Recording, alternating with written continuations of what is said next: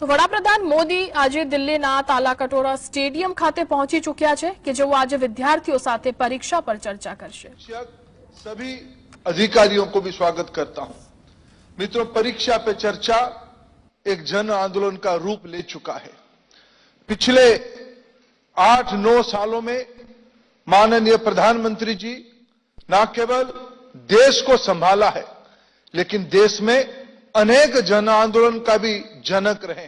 वो स्वच्छ भारत हो, वो परीक्षा पे चर्चा हो, या देश की नौजवानों के अंदर एक नई स्फूर्ति उत्पन्न करने की बात हो।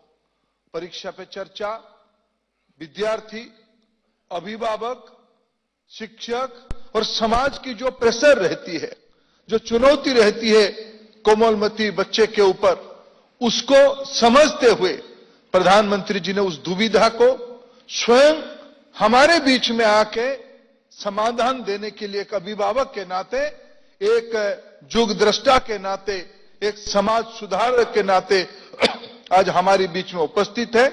यह आज एक सटीक जन आंदोलन की रूप ले चुका है। मित्रों, न केवल परीक्षा पे चर्चा, उन्होंने समय निकाल के अपने को खुद को विद्यार्थी बनाया।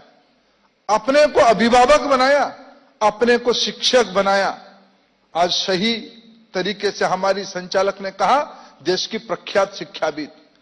उन्होंने एग्ज़ाम वॉरियर करके किताब लिखा है। इस बार तो उसकी नई संस्करण भी आ गई है और भारत की तेरह भाषाओं में यह आज हम लोगों के सामने है। परीक्षा पे चर्चा भी एक नई प्रारूप बन चुका है। इस बार 23 जनवरी को नेताजी की जन्मदिन के अवसर पे देश भर की स्कूल विद्यार्थियों ने उस पर चित्रांकन की, एक कंपटीशन में पार्टिसिपेट किया। मैं आप सभी को बधाई देता हूँ एग्ज़ाम वॉरियर के अंदर आपको प्रेरणा लेने के लिए।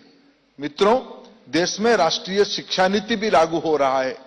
परीक्षा पे चर्चा एग्ज़ाम वॉरियर ये सहजता धीरे धीरे विद्यार्थियों को 21वीं सदी के लिए तैयार करने के लिए प्रधानमंत्री जी की सपना है। भारत की विद्यार्थी ना केवल भारत की विषयों के बारे में चिंता करे। लाइव जैसे जन आंदोलन को विश्व में प्रधानमंत्री जी ने शुरू किया। पर्यावरण, विश्व विश्व की अर्थनीति, विश्व में टेक्नोलॉजी, ये भारत की बच्चों के द्वारा निर्मित होके दुनिया की समस्या की समाधान बने, इसी अपेक्षा एनईपी में माननीय प्रधानमंत्री जी ने रखा है। परीक्षा पे चर्चा, एग्ज़ाम वॉरियर, एनईपी, ये एक सिक्के की अनेक पहलू है। मैं ऐसे ही एक भव्य कार्यक्रम में हम सभी लोग एकत्रित हुए हैं। इस कार्यक्रम में कुछ समय प्रधानमंत्री बच्चों के साथ, देश की बच्चों के साथ खुद कुछ समय बिताएँ। मैं माननीय प्रधानमंत्री जी को मंच पे सादर आमंत्रित करता हूँ।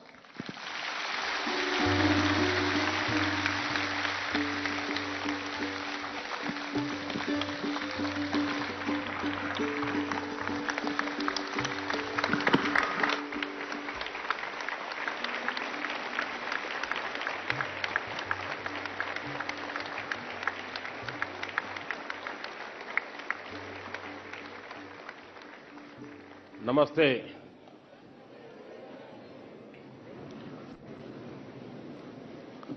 शायद इतनी ठंड में पहली बार परीक्षा पे चर्चा हो रही है। आमतौर पर फरवरी में करते हैं,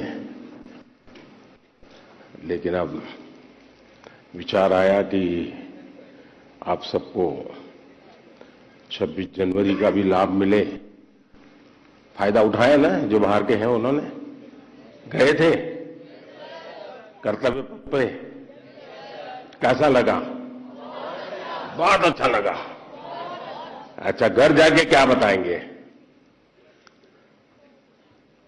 कुछ नहीं बताएँगे। अच्छा साथियों, समय ज़्यादा लेता नहीं हूँ मैं, लेकिन मैं इतना ज़रूर कहूँगा। कि परीक्षा पे चर्चा, मेरी भी परीक्षा है।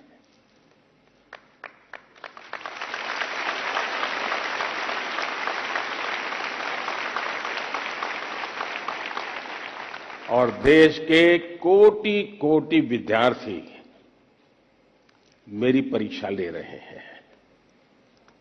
और मुझे ये परीक्षा देने में खुशी होती है, आनंद आता है।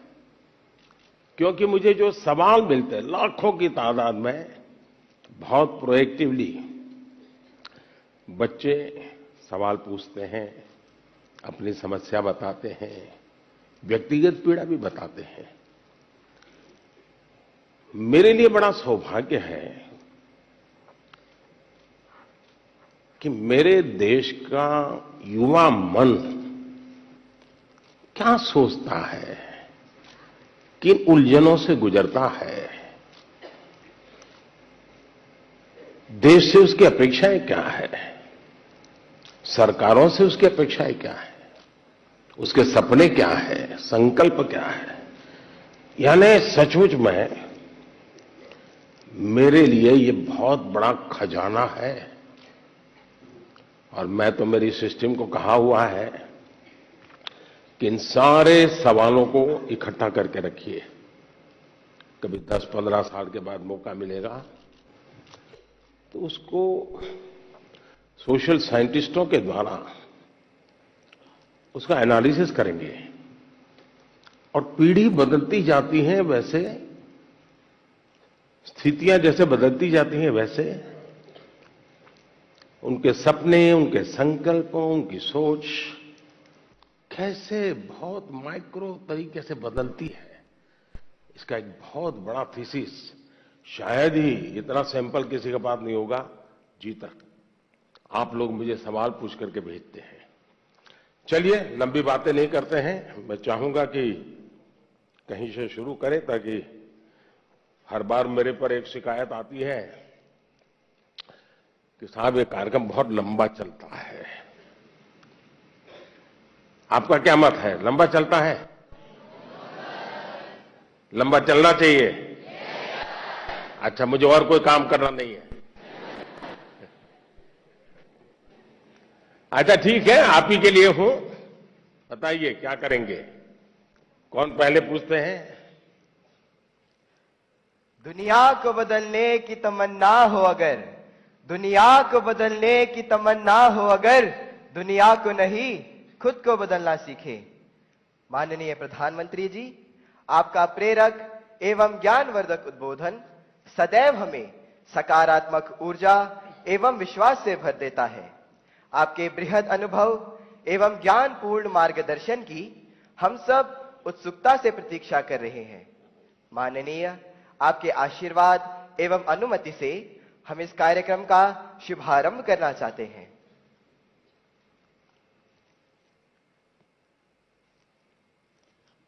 धन्यवाद, मान्यवर।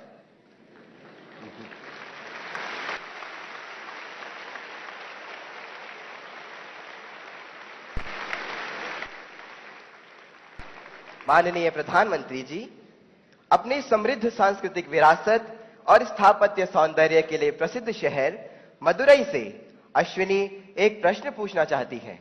अश्विनी, कृपया अपना प्रश्न पूछिए। Honourable prime minister sir Namaskar. My name is Ashwini. I am a student of Kendra Vidyalaya number 2 Madurai, Tamil Nadu. My question to you sir is, how do I deal with my family disappointment if my results are not good?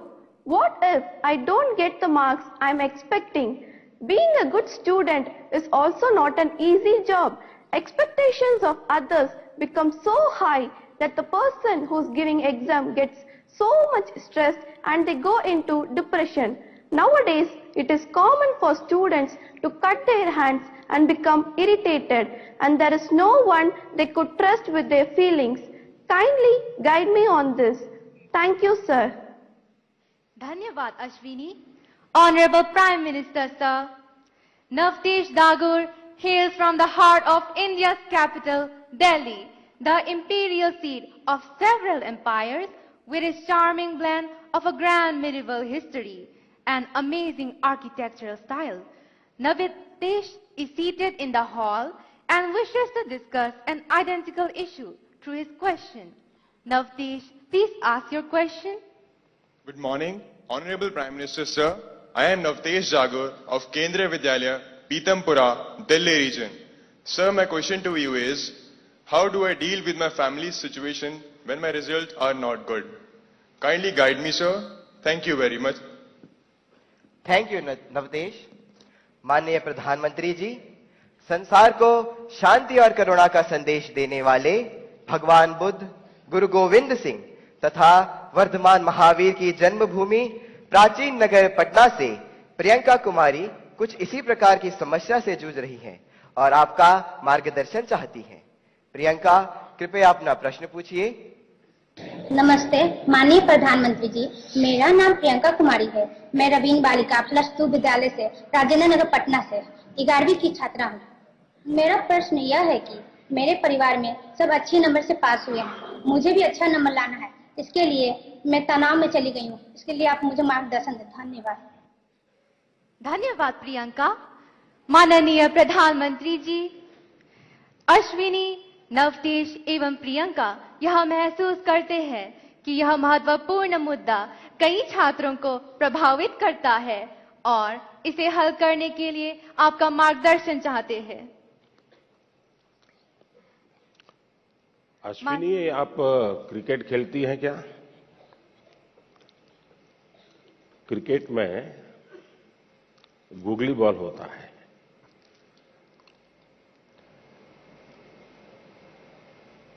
निशाना एक होता है, दिशा दूसरी होती है। मुझे लगता है कि आप पहले ही बॉल में मुझे आउट करना चाहती हो।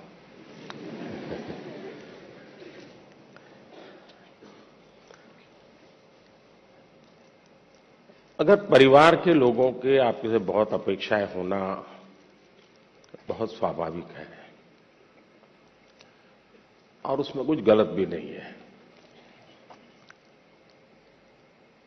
लेकिन अगर परिवार के लोग अपेक्षाएँ सोशल स्टेटस के कारण कर रहे हैं तो वो चिंता का विषय है। उनका सोशल स्टेटस का उन पर इतना दबाव होता है, उनके मन पे इतना प्रभाव होता है, कि उनको लगता है कि जब सोसाइटी में जाएँगे तो बच्चों के लिए क्या बताएँगे? अगर बच्चे वीक हैं तो कैसे उनके सामने चर्चा करेंगे? और कभी कभी माँ बाप भी आपकी क्षमता को जानने के बावजूद भी अपने सोशल स्टेटस के कारण, अपने आसपास के साथियों, दोस्तों में, क्लब में जाते हैं, सोसाइटी में जाते हैं कभी तालाब में कपड़े धोए जाते हैं, बैठते हैं, बातें करते हैं, बच्चों की बातें निकलती हैं। फिर उनको एक इंफेरिटी कॉम्प्लेक्स आता है।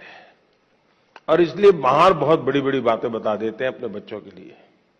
और फिर धीरे धीरे वो इंटरनलाइज कर लेते हैं। और फिर घर में आकर के भी वही अपेक्षाएँ करते हैं। और समाज जीवन में ये सहज प्रवृत्ति बनी हुई है। दूसरा, आप अच्छा करेंगे तो भी हर कोई आपसे नई अपेक्षा करेगा। हम तो राजनीति में हैं, हम कितने ही चुनाव क्यों न जीत लें, लेकिन ऐसा दबाव पैदा किया जाता है कि हमें हारना ही नहीं है। 200 लाए हैं तो बोले दो, ढाई सौ क्यों नहीं लाए?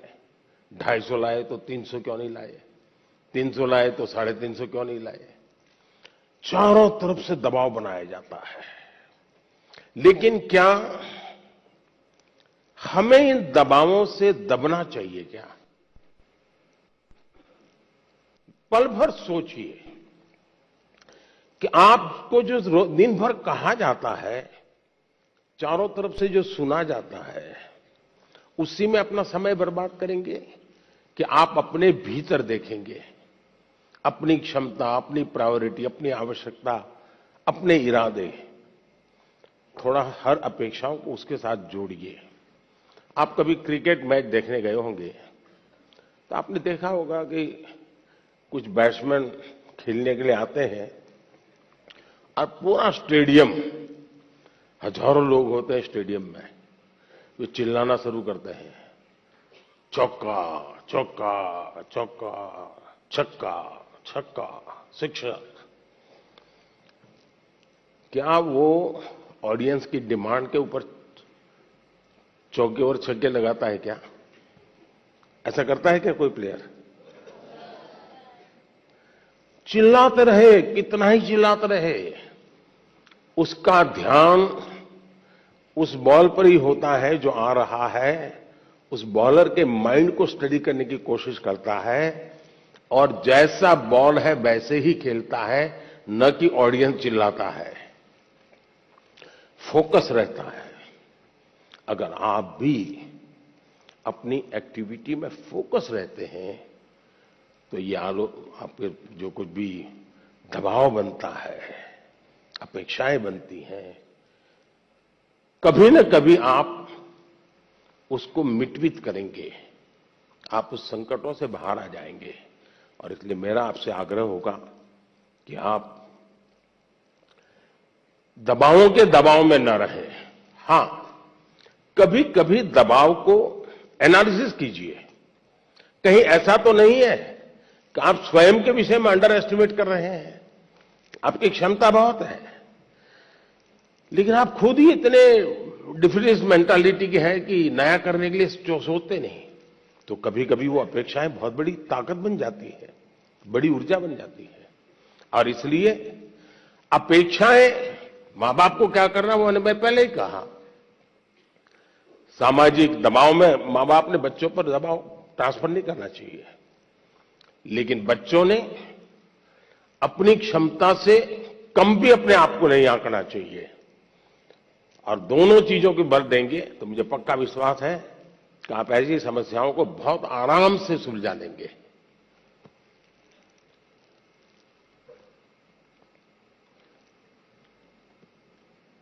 कहाँ गए anchor?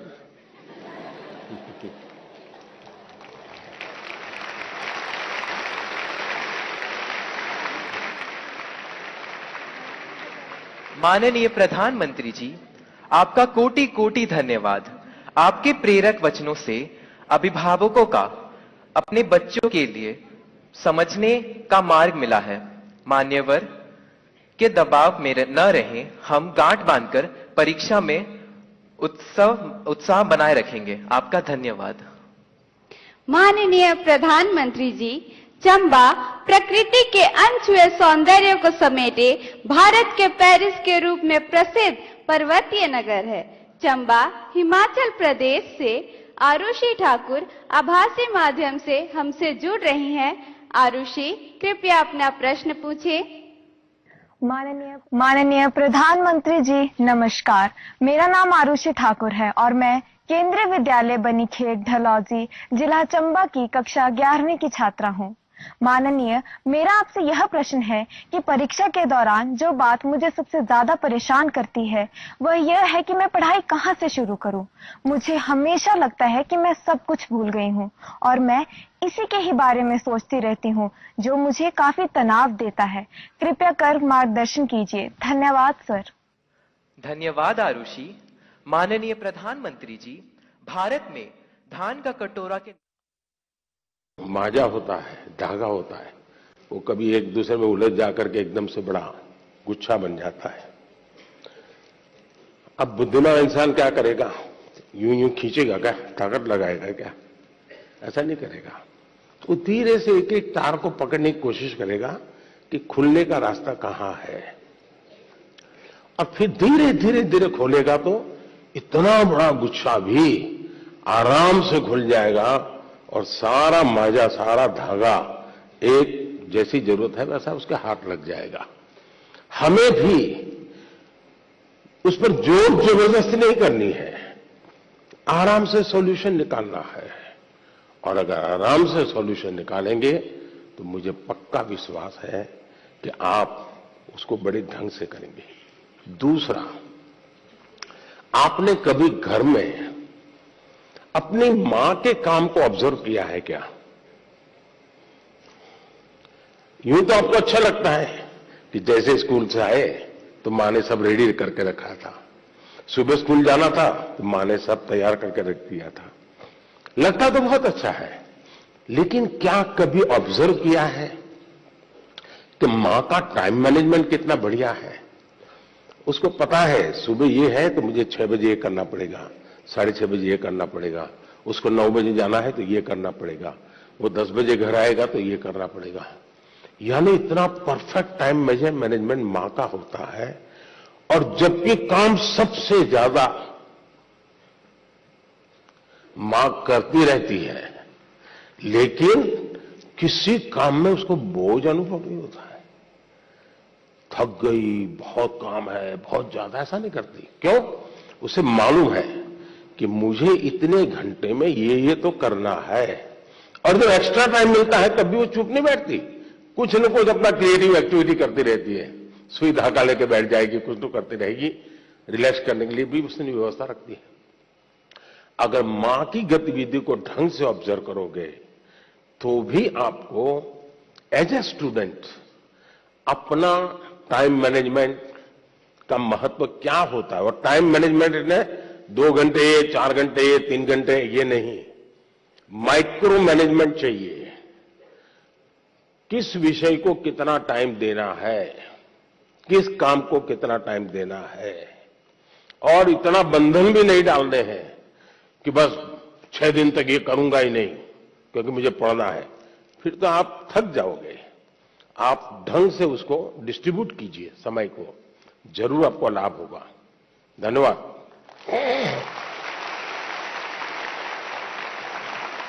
Thank you, Honorable Prime Minister, sir, for guiding us to be methodical and systematic in order to be an effective student.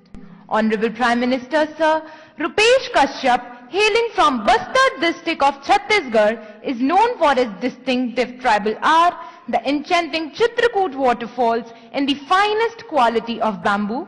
Rupesh is present here with us and needs your advice on a topic that is of vital significance. Rupesh, please ask your question.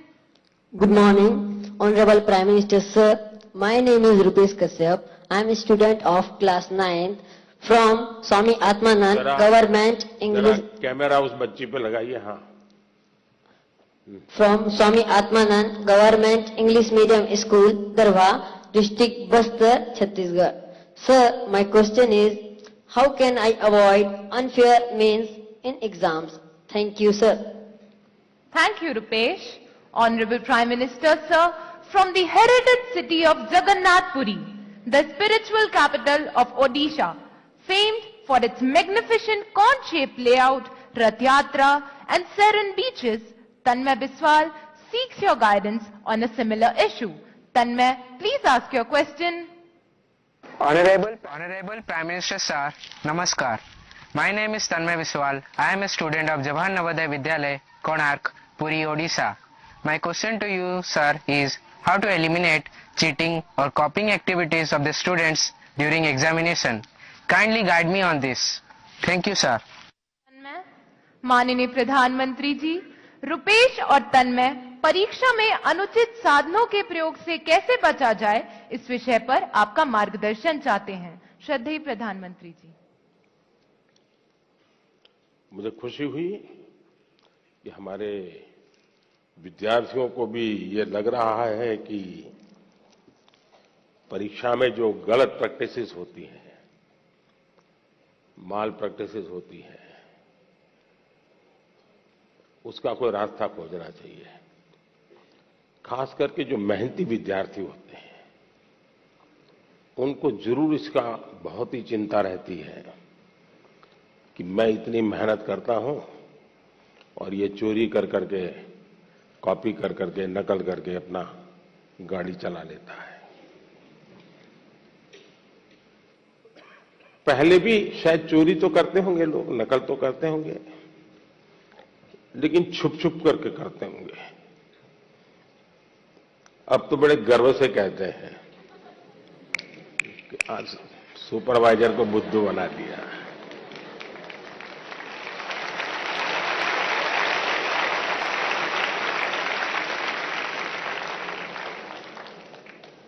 ये जो मूल्यों में बदलाव आया है, वो बहुत खतरनाक है। और इसलिए समाज ए सच ये हम सबको सोचना होगा। दूसरा अनुभव आया है कि कुछ स्कूल या कुछ ऐसे टीचर्स जो ट्यूशन क्लासेस चलाते हैं, उनको भी लगता है कि मेरा स्टूडेंट अच्छे तरह से निकल जाए क्योंकि मैंने उसके माँ बाप से पैसे लिए हैं, कोचिंग करता था। तो वे उसको गाइड करते हैं, मदद करते हैं नकल करने के लिए। करते हैं ना? ऐसे टीचर होते हैं ना? नहीं होते। तो बोलिए ना। हाँ। और उसके कारण भी दूसरा मैंने देखा है कि कुछ स्टूडेंट पढ़ने में तो टाइम लगाते, लेकिन नकल करने के तरीके ढूँढने में बड़े क्रिएटिव होते हैं।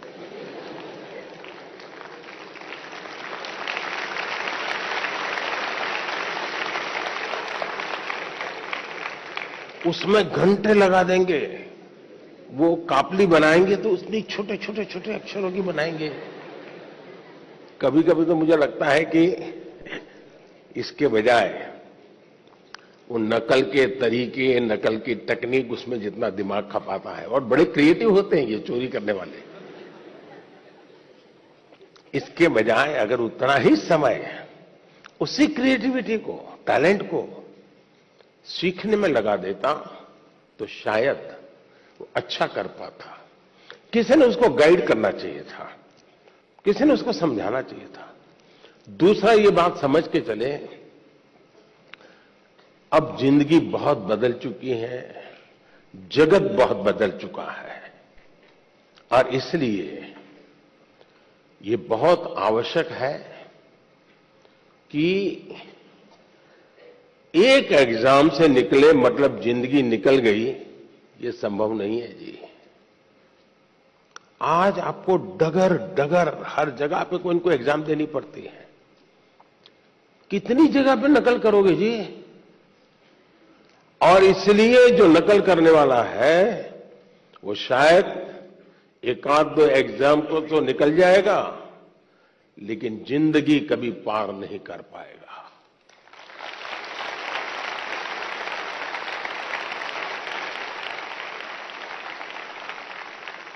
नकल से ज़िंदगी नहीं बन सकती है। हो सकता है एग्ज़ाम में मार्क्स इधर उधर करके ले आए, लेकिन कहीं न कहीं तो क्वेश्चनेबल होगा ही। और इसलिए ये वातावरण हमको बनाना होगा कि एक आध एग्ज़ाम में तुमने नकल की, हो गया तुम निकल गए, लेकिन आगे चल करके शायद तुम ज़िंदगी में फंसे रहोगे। दूसरा, जो विद्यार्थी कड़ी मेहनत करते हैं, उनसे भी मैं कहूँगा कि आपकी मेहनत आपकी ज़िंदगी में रंग लाएगी। हो सकता है कोई ऐसा ही फालतू दो चार मार्क्स आपसे ऊपर ले जाएगा। लेकिन वो कभी भी आपकी ज़िंदगी की रुकावट नहीं बन पाएगा। आपके भीतर की जो ताकत है, आपके भीतर की जो ताकत है, वही ताकत आपको आगे ले जाएगी। कृपा करके उसको तो फ़ायदा हो गया, चलो मैं भी उस रास्ते पर चल पड़ूं। ऐसा कभी मत करना, कभी मत करना दोस्तों। एग्जामें तो आती हैं, जाती हैं। हमें ज़िंदगी जीनी है। जी भर के जीनी है। जीतते जीतते ज़िंदगी जीनी है। और इसलिए हमें शॉर्टकट की तरफ़ नहीं जाना चाहिए। और आप तो जानते हैं, रेलवे स्टेशन पर आपने देखा होगा।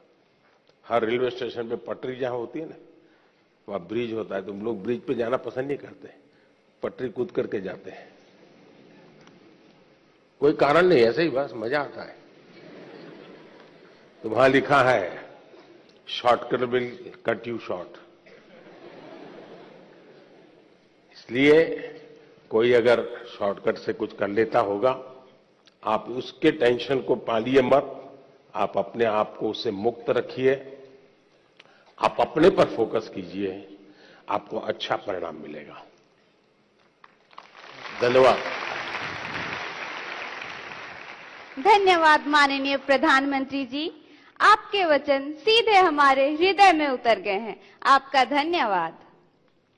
Honourable prime minister sir from Palakkad the land of paddy fields with gentle breeze carries the aroma of harvested crop and the sound of traditional Kerala music Sujal के seeks your guidance Sujal please ask your question नमस्कार आदरणीय प्रधानमंत्री महोदय। मेरा नाम तेजस उजय है। मैं नौवीं कक्षा में केंद्रीय विद्यालय कंजीकोट एर्नाकुलम संभाग का छात्र हूँ। मेरा प्रश्न यह है हार्ड वर्क और स्मार्ट वर्क में से कौन सा वर्क ज़रूरी है? क्या अच्छी परिणामों के लिए दोनों ज़रूरी हैं? कृपया अपना मार्गदर्शन दीजिए। धन्यवाद श्रीमान। Thank you Sujal honourable prime minister sir क्या सवाल था उनका? क्या पूछ रहे थे? सर हार्ड वर्क के बाद hard work hard work hard work और स्मार्ट वर्क हार्ड वर्क और smart work thank you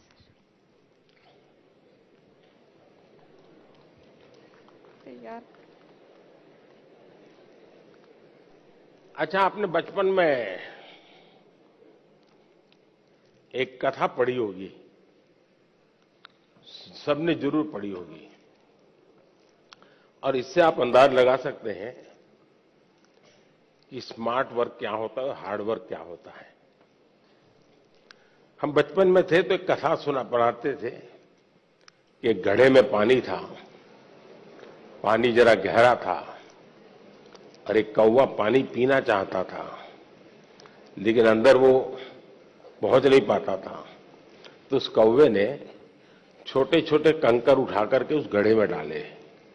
और धीरे धीरे पानी ऊपर आया और फिर उसने आराम से पानी पिया। सुना है नहीं कथा? अब इसको आप क्या कहेंगे? हार्ड वर्क कहेंगे कि स्मार्ट वर्क कहेंगे?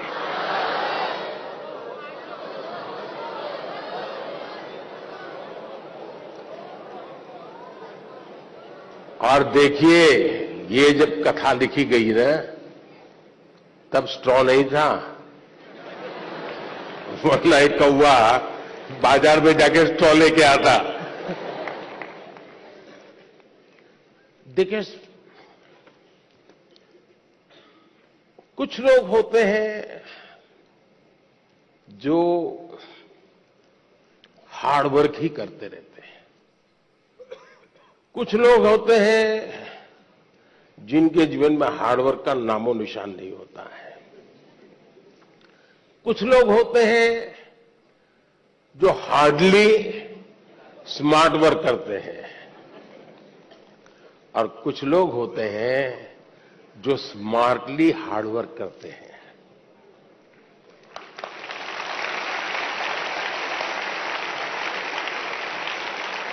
और इसलिए कौआ भी हमें सिखा रहा है कि स्मार्टली हार्ड वर्क कैसे करना।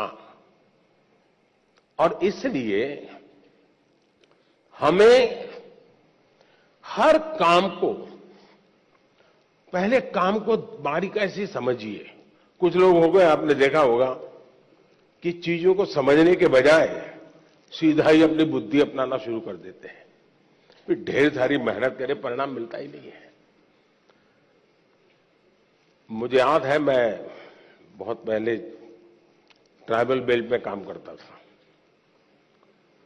तो मुझे काफ़ी इंटीरियर में जाना था। तो किसी ने हमें उस जमाने की जो पुरानी जीप होती थी, उसने व्यवस्था की कि आप उसको लेके जाइए। अब सुबह हम कोई साढ़े पाँच बजे निकलने वाले थे, लेकिन हमारी जीप चली नहीं रही थी। हम अब ढेर सारी कोशिशें की धक्के मारे, ये किया दुनिया भर का हार्ड वर्क किया। लेकिन हमारी जीप नहीं चली। सात, साढ़े सात बज गए तो एक मैकेनिक को बुलाया। अब मैकेनिक ने मुश्किल से दो मिनट लगाया होगा और दो मिनट में उसने ठीक कर दिया। और फिर वो कहे, साहब, दो सौ रुपये देने पड़ेंगे। मैं कहा, यार, दो मिनट का दो सौ रुपया? बोले, साहब, ये दो मिनट का दो सौ रुपया नहीं है, ये पचास साल के अनुभव का दो सौ रुपया है।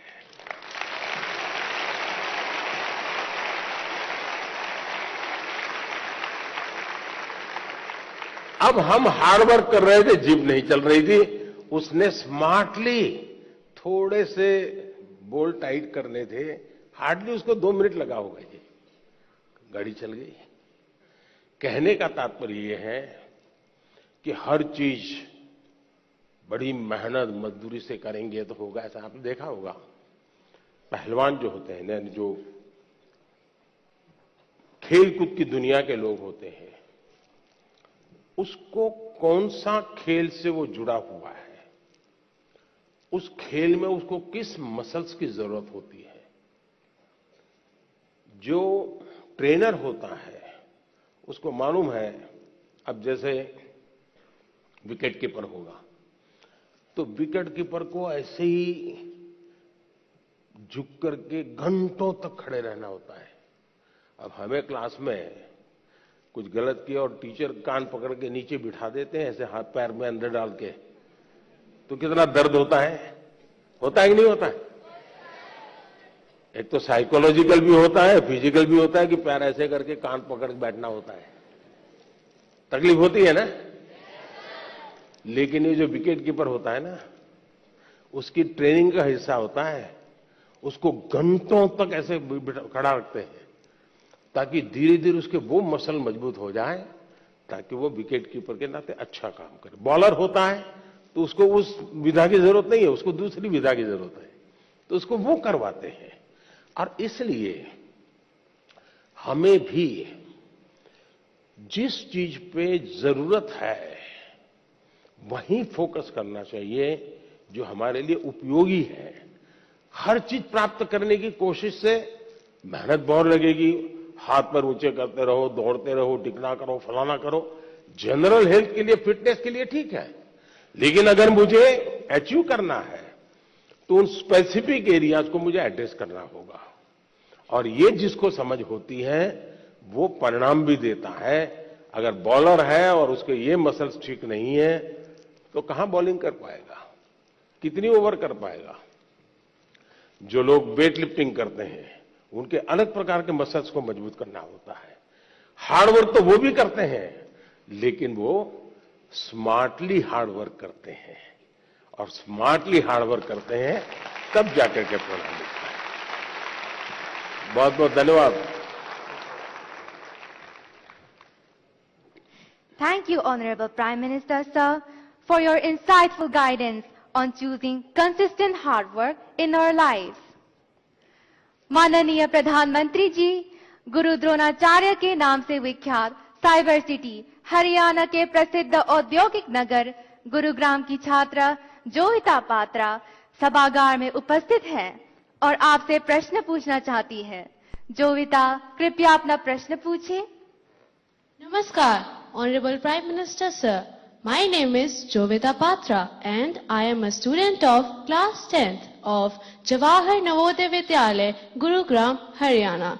It's my privilege and great honor to participate in the Pariksha Pe Charcha 2023. Honorable Prime Minister sir, my question to you is, being an average student, how can I focus on my studies?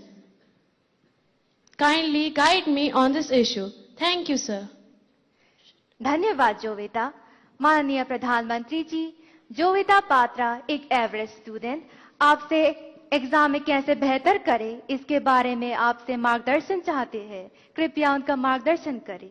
माननीय प्रधानमंत्री जी। सबसे पहले तो मैं आपको बधाई देता हूँ कि आपको पता है कि आप एवरेज हैं।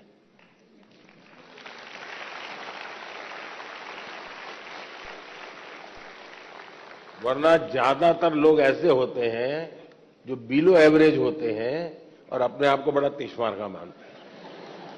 सब बंदर के व्यापारी मानते हैं। तो मैं सबसे पहले आपको और आपके माता पिता जी को भी बधाई देता हूँ। एक बार आपने इस सत्य को स्वीकार कर लिया कि हाँ भी मेरी एक क्षमता है, मेरी स्थिति है। मुझे अब इसके अनुकूल चीज़ों को ढूंढना होगा। मुझे बहुत बड़े तिस्मारखा बनने की ज़रूरत नहीं है। हम अपने सामर्थ्य को जिस दिन जानते हैं ना तो हम सबसे बड़े सामर्थ्यवान बन जाते हैं। जो लोग खुद के सामर्थ्य को नहीं जानते हैं, उनको सामर्थ्यवान बनने में बहुत सारी रुकावटें आती हैं। इसलिए इस स्थिति को जानना ये अपने आप में ईश्वर ने आपको शक्ति दी है, आपके टीचर्स ने शक्ति दी है, आपके परिवार ने शक्ति दी है।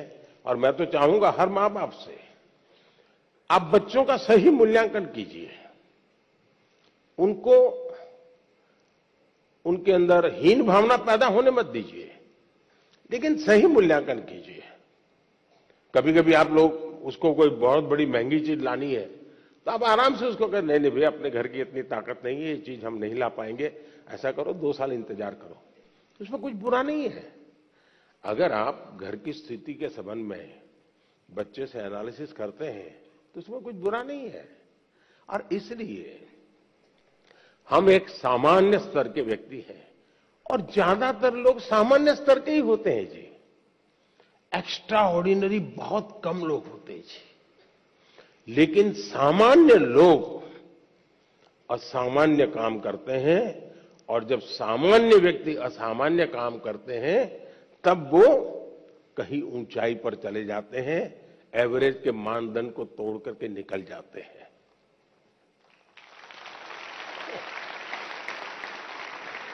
और इसलिए हमें कभी भी ये सोचना, दुनिया में आप देखिए ज़्यादातर जो लोग सफल हुए हैं, वो क्या है जी? वो किसी जमाने में एवरेज लोग थे जी। असामान्य काम करके आए हैं, बहुत बड़ा परिणाम लेके आए हैं। अब आपने देखा होगा, इन दिनों दुनिया में पूरे विश्व की आर्थिक स्थितियों की चर्चा हो रही है। कौन देश कितना आगे गया? किसकी आर्थिक स्थिति कैसी है? और कोरोना के बाद तो ये बड़ा मानदंड बन गया है। और ऐसा तो नहीं है कि दुनिया के पास अर्थवेत्ताओं की कमी है बड़े बड़े नोबेल प्राइज विनर हैं, जो गाइड कर सकते हैं कि ऐसा करने से आर्थिक स्थिति ऐसी बनेगी, ऐसा करने से ऐसी आर्थिक स्थिति। कोई कमी नहीं है। ज्ञान का प्रवाह बांटने वाले तो हर गली मोहल्ले में आजकल अवेलेबल है। और कुछ विद्वान भी अवेलेबल है, जिन्होंने बहुत कुछ किया है। लेकिन हमने देखा है कि भारत आज दुनिया में आर्थिक जो तुलनात्मक हो रहा है, भारत को एक आशा की किरण के रूप में देखा जा रहा है। कृपया हम युवाओं को भी प्रेरणा दे ताकि हम जीवन के हर परीक्षा में सफल हो। धन्यवाद। थैंक यू आकाश माननीय प्रधानमंत्री जी आपका जीवन करोड़ों युवाओं का प्रेरक रहा है। मन्नत अष्टमी कुमकुम और आकाश जीवन में आने वाली चुनौतियों में कैसे सकारात्मक रहकर सफलता प्राप्त करें इस विषय पर आपका अनुभव जानना चाहते हैं। कृपया मार्गदर्शन करें। माननीय प्रधानमंत्री जी। आप लोग एग्ज़ाम देते हैं और घर आकर के जब परिवार के साथ या दोस्तों के साथ बैठते हैं, कभी टीचर से निकट नाता है तो उनसे बैठते हैं। और कोई सवाल का जवाब ठीक नहीं आया तो आपका पहला रिएक्शन होता है, ये आउट ऑफ़ सिलेबस था। यही होता है ना? तो ये भी आउट ऑफ़ सिलेबस है। लेकिन मैं अंदाज कर सकता हूँ कि आप क्या कहना चाहते हैं। अगर आपने मुझे न जोड़ा होता तो शायद आप अपनी बात को और ढंग से कहना चाहते होंगे, लेकिन शायद आपको मालूम है कि आपके परिवार वाले भी सुन रहे हैं। तो ऐसा खुल करके बोलने में खतरा है। इसलिए बड़ी चतुराई से आपने मुझे अंदर लपेट लिया है। देखिए, जहाँ तक मेरा सवाल है, मेरा एक कन्विक्शन है, और मेरे लिए ये आर्टिकल ऑफ़ फेथ है। मैं सिद्धांततः मानता हूँ कि समृद्ध लोकतंत्र के लिए आलोचना एक शुद्धि यज्ञ है।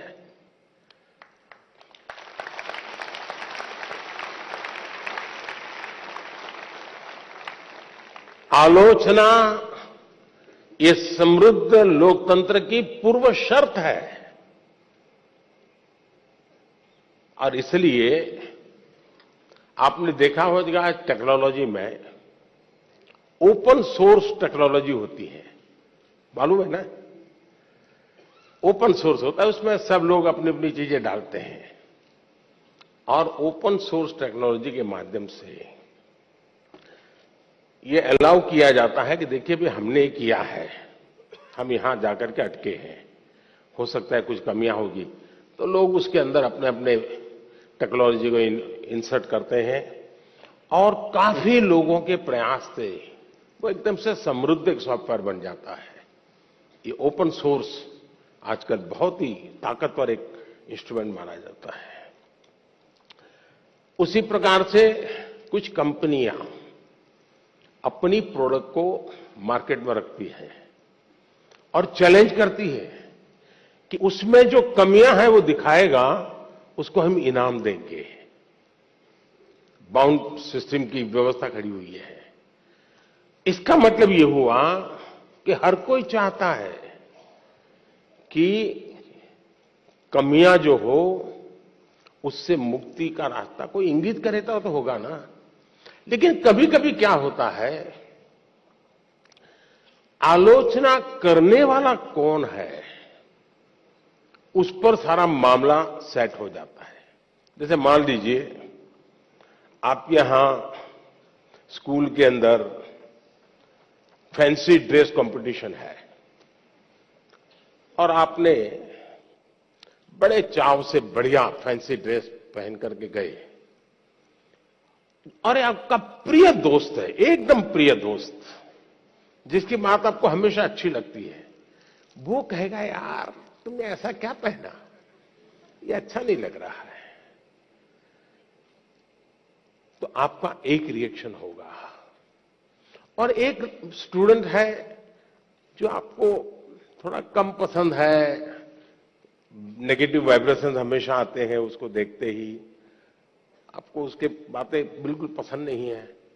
वो कहे देखो, ये क्या पहन के आया है? कैसे पहनते हैं क्या? तो आपका एक दूसरा रिएक्शन होगा। क्यों? जो अपना है, वो कहता है तो आप उसको पॉजिटिव लेते हैं उस आलोचना को।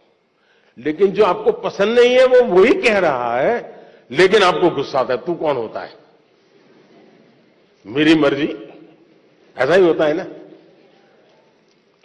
उसी प्रकार से आप आलोचना करने वाले आदतन करते रहते हैं तो उनको एक बक्से में डाल दीजिए। दिमाग खपाइए मत ज़्यादा, क्योंकि उनका इरादा कुछ और है। अब घर में आलोचना होती है क्या? मैं समझता हूँ कुछ गलती हो रही है। घर में आलोचना नहीं होती है, ये दुर्भाग्य का विषय है। आलोचना करने के लिए माँ बाप को भी बहुत अध्ययन करना पड़ता है, आपको ऑब्ज़र्व करना पड़ता है, आपके टीचर को मिलना पड़ता है, आपके दोस्तों की आदतें जाननी पड़ती है, आपकी दिनचर्या को समझना करना पड़ता है, आपको फॉलो करना पड़ता है आपका मोबाइल फ़ोन पर कितना टाइम जा रहा है, स्क्रीन पर कितना टाइम जा रहा है, सारा बहुत बारीकी से कुछ न बोलते हुए माँ बाप ऑब्ज़र्व करते हैं। फिर कभी आप किस अच्छे मूड में होते हैं वो देखते हैं। और जब अच्छे मूड में होते हैं, अकेले होते हैं, तब प्यार से वो कहते अरे यार, देख बेटे, तुझ में इतनी क्षमता है, इतना सामर्थ्य है। देख तेरी शक्ति यहाँ क्यों जा रही है? तो वो सही जगह पे वो रजिस्टर होता है। वो आलोचना काम आ जाए। लेकिन आजकल माँ बाप को टाइम नहीं है। वो आलोचना नहीं करते टोका टोकी करते हैं। और जो गुस्सा आपको आता है ना, वो टोका टोकी का आता है। कुछ भी करो।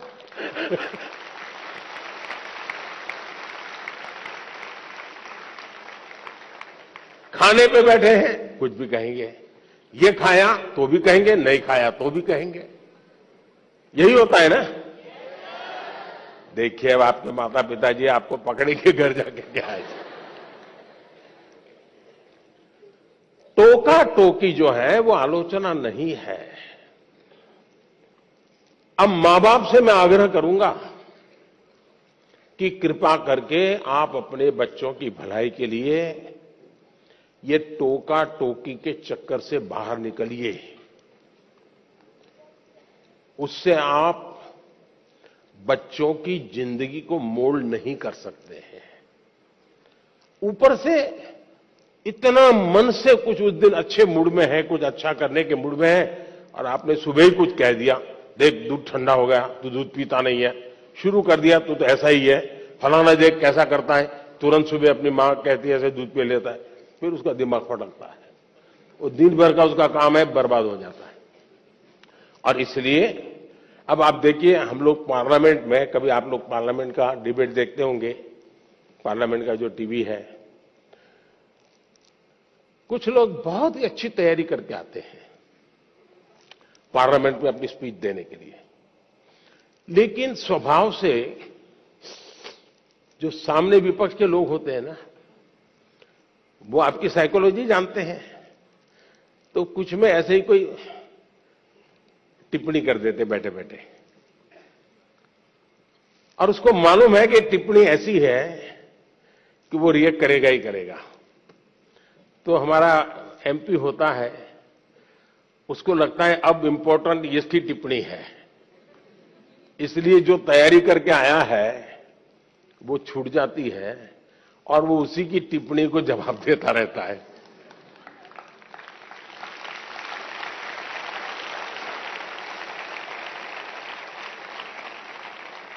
और अपना पूरी बर्बादी कर देता है। और अगर टिप्पणी है है, हँसी मज़ाक में बॉल खेल लिया खेल लिया, छुट्टी कर दी, दूसरी सेकंड में अपने विषय पे चला जाता है तो उसको फोकस एक्टिविटी का परिणाम मिलता है। और इसलिए हमें अपना फोकस छोड़ना नहीं चाहिए। दूसरी बात है देखिए, आलोचना करने के लिए बहुत मेहनत करनी पड़ती है। बहुत अध्ययन करना पड़ता है। उसका एनालिसिस करना पड़ता है। कंपैरिजन करनी पड़ती है। भूतकाल देखना पड़ता है, वर्तमान देखना पड़ता है, भविष्य देखना पड़ता है। बड़ी मेहनत करनी पड़ती है, तब जाके आलोचना संभव होती है। और इसलिए आजकल शॉर्टकट का जमाना है। ज़्यादातर लोग आरोप करते हैं। आलोचना नहीं करते हैं आरोप और आलोचना के बीच में बहुत बड़ी खाई है। हम आरोपों को आलोचना न समझे। आरो, आलोचना तो एक प्रकार से वो न्यूट्रिएंट है जो हमें समृद्ध करता है। आरोप वो चीज़ें हैं जिसको हमने आरोप लगाने वालों को गंभीरता से लेने की ज़रूरत नहीं है, समय बर्बाद की ज़रूरत नहीं है, लेकिन आलोचना को कभी लाइट नहीं लेना चाहिए। आलोचना को हमेशा मूल्यवान समझना चाहिए। वो हमारी ज़िंदगी को बनाने के लिए बहुत काम आती है। और अगर हम ईमानदार हैं, हमने प्रामाणिक सत्यनिष्ठा से काम किया है, समाज के लिए काम किया है, निश्चित मकसद के लिए काम किया है तो आरोपों की बिल्कुल परवाह मत कीजिए दोस्तों। मैं समझता हूँ आपकी एक बहुत बड़ी ताकत बन जाएगी। बहुत बहुत धन्यवाद।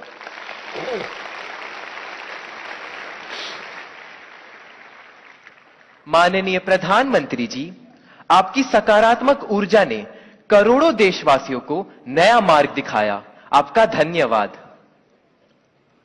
माननीय प्रधानमंत्री जी तालों के शहर भोपाल के दीपेश अहिरवार आभासी माध्यम से हमसे जुड़े हुए हैं एवं मान्यवर प्रधानमंत्री जी से प्रश्न पूछना चाहते हैं। दीपेश कृपया अपना प्रश्न पूछे। माननीय प्रधानमंत्री जी नमस्कार।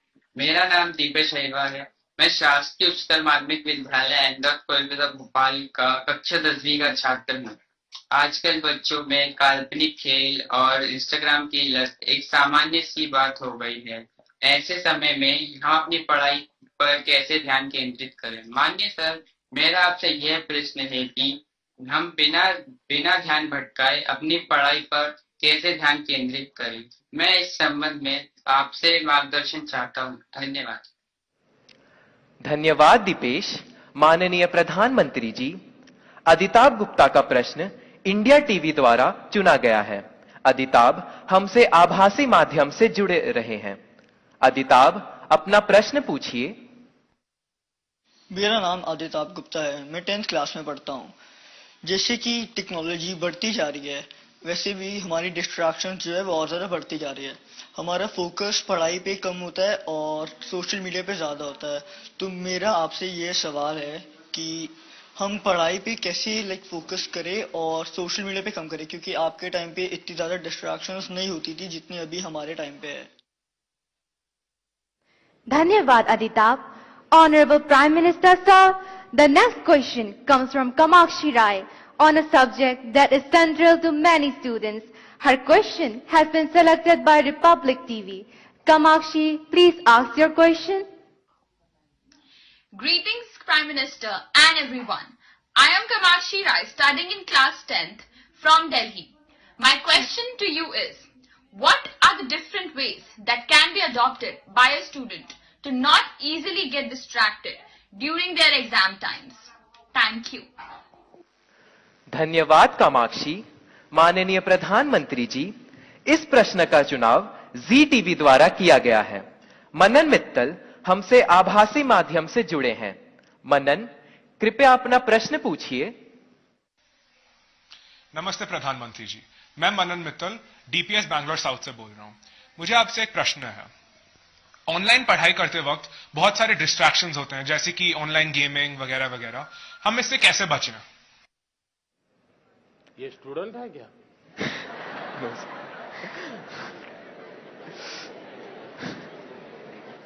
वो गैजेट में ही खोते रहते हो गए।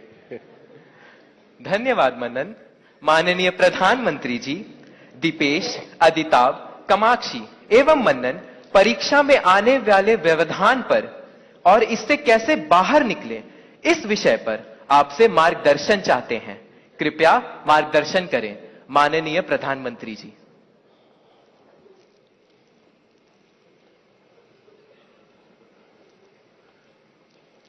सबसे पहले तो निर्णय ये करना है कि आप स्मार्ट हैं कि गैजेट स्मार्ट है।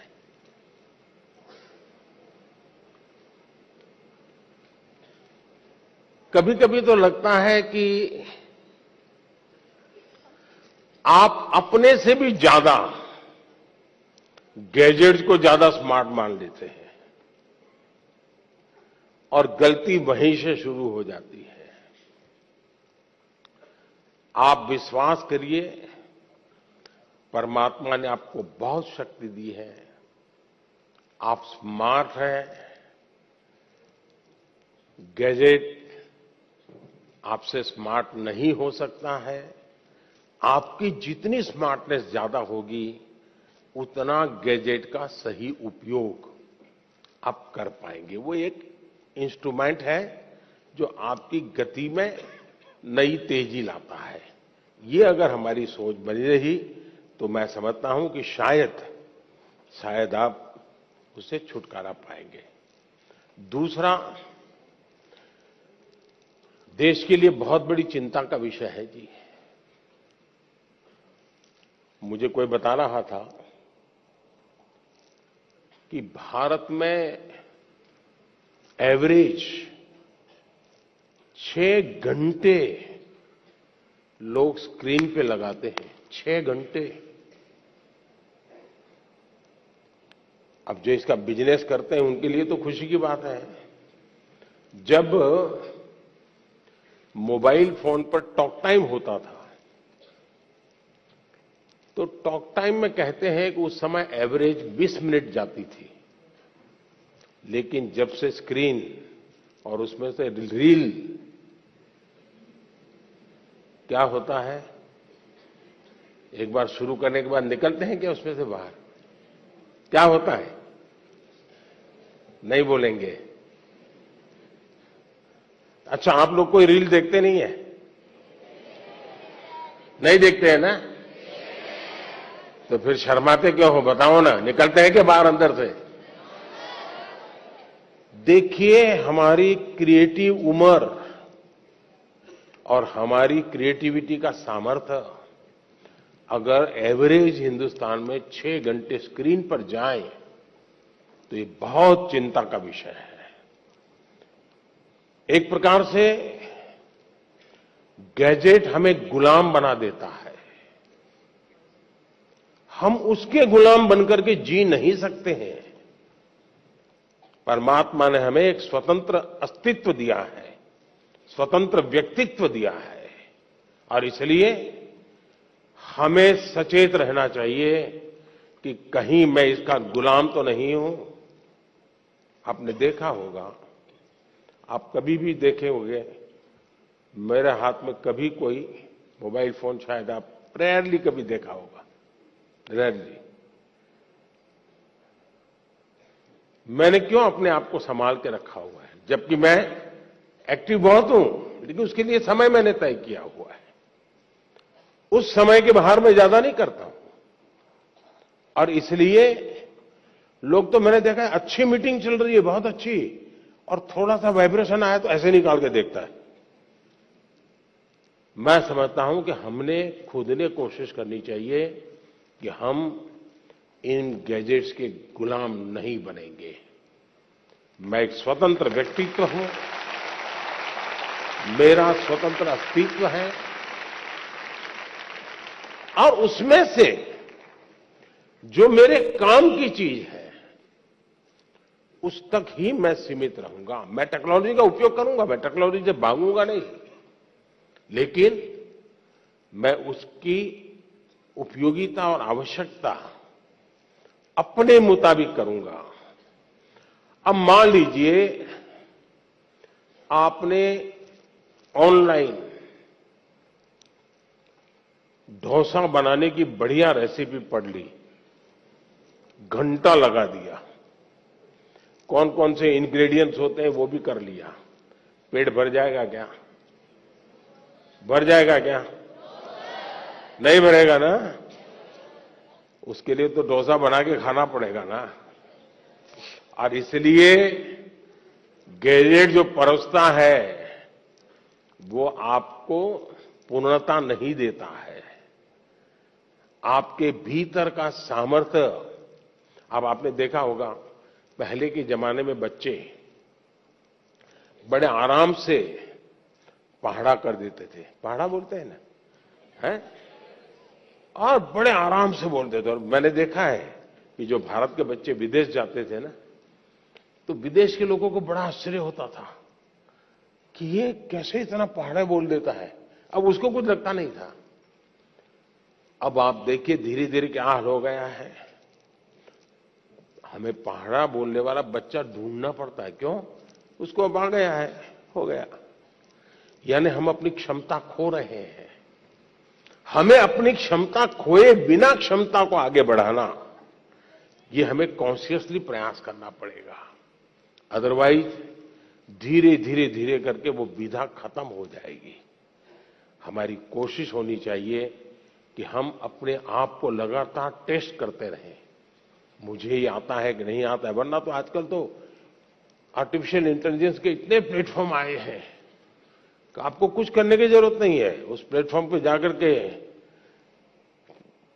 चैट पर चले जाएँगे तो आपको दुनिया भर की चीज़ें बता करके दे देता है वो। हम तो गूगल से भी एक स्टेप आगे चला गया है। अगर आप उसमें फंस गए तो आपकी क्रिएटिविटी खत्म हो जाएगी। और इसलिए मेरा तो आग्रह रहेगा कि आप दूसरा, हमारे यहाँ आरोग्य का जो शास्त्र है, पुरातन भारत में आरोग्य का, उसमें उपवास की परंपरा होती है। कि कुछ जरा ऐसा लगता है तो ऐसा करो, आप फास्टिंग करो। कुछ हमारे देश में कुछ रिलीजियस रिचुअल्स में भी होता है फास्टिंग करो। अब वक्त बदल चुका है तो मैं आपको कहूँगा, क्या आप हफ़्ते में कुछ दिन या दिन में कुछ घंटे ये टेक्नोलॉजी का फास्टिंग कर सकते हैं क्या? कि उतने घंटे उस उसकी तरफ़ जाएँगे ही नहीं।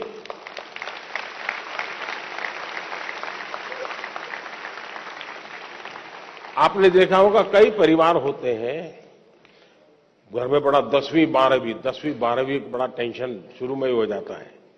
सारे कार्यक्रम तय करते हैं परिवार वाले, नहीं नहीं भाई, अगली साल कुछ नहीं है, वो दसवीं में है वो, अगली साल कुछ नहीं है, वो बारहवीं में है। ऐसा ही चलता है घर में। और फिर टीवी पे भी कपड़ा लगा देते हैं। हाँ नो टीवी क्यों? एग्ज़ाम है, दसवीं दसवीं के एग्ज़ाम है, बारहवीं के एग्ज़ाम है। अगर हम इतने जागरूक होकर के टीवी पर तो पर्दा लगा देते हैं, लेकिन क्या हम स्वभाव से तय कर सकते हैं कि सप्ताह में एक दिन मेरा डिजिटल फास्टिंग होगा? नो डिजिटल डिवाइस मैं किसी को हाथ नहीं लगाऊँगा। उसमें से जो फ़ायदा होता है, उसको ऑब्ज़र्व कीजिए। धीरे धीरे धीरे आपको उसका समय बढ़ाने का मन करेगा। उसी प्रकार से हमने देखा है कि परिवार हमारे तो छोटे होते जा रहे हैं। और परिवार भी इस डिजिटल दुनिया में फंस रहे हैं। एक ही घर में माँ, बेटा, बहन, भाई, पापा सब रह रहे हैं और एक ही कमरे में वो उसको व्हाट्सअप कर रहा है। मैं आपकी ही बात बता रहा हूँ, मैं।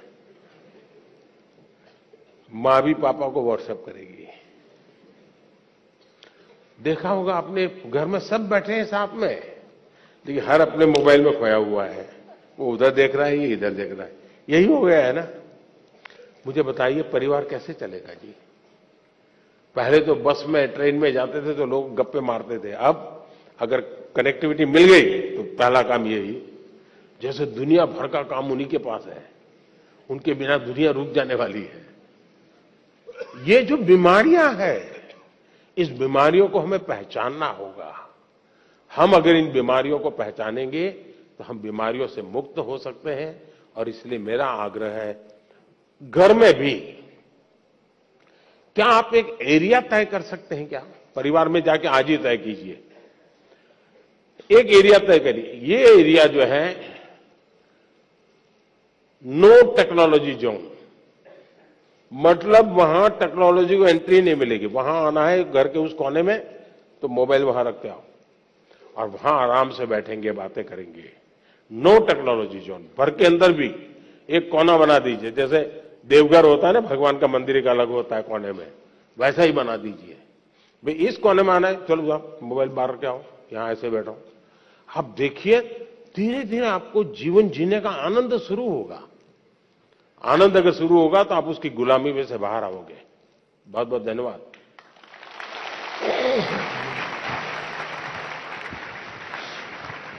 Thank you honourable prime minister sir for sharing such light hearted mantra of digital fasting to tackle challenging situation in such an easy manner माननीय प्रधानमंत्री जी हिमालय पर्वतमाला में स्थित प्राकृतिक सौंदर्य से भरपूर यूनियन टेरिटरी जम्मू से निदा हमसे आभासी माध्यम से जुड़ रही हैं एवं आपसे प्रश्न पूछना चाहती हैं।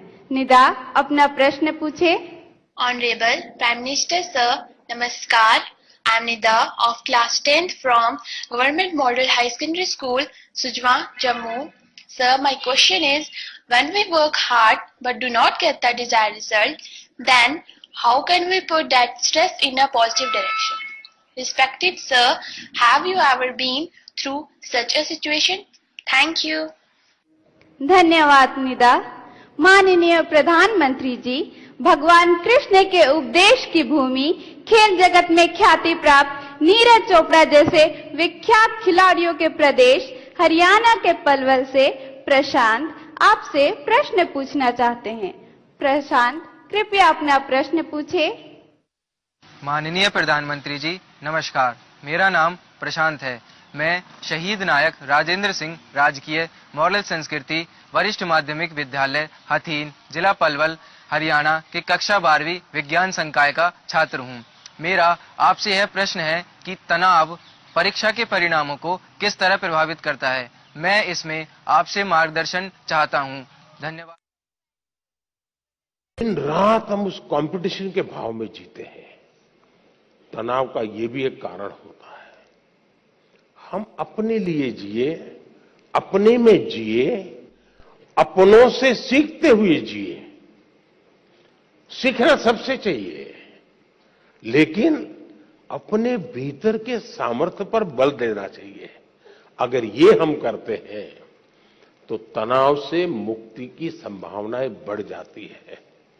दूसरा, जीवन की तरफ़ हमारी सोच क्या है?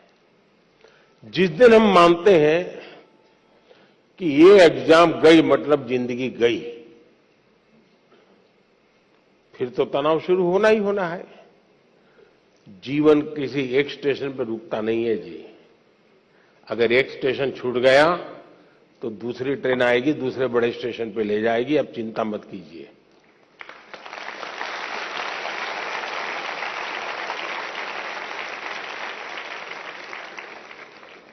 एग्ज़ाम वो एंड ऑफ़ द लाइफ नहीं होता है जी।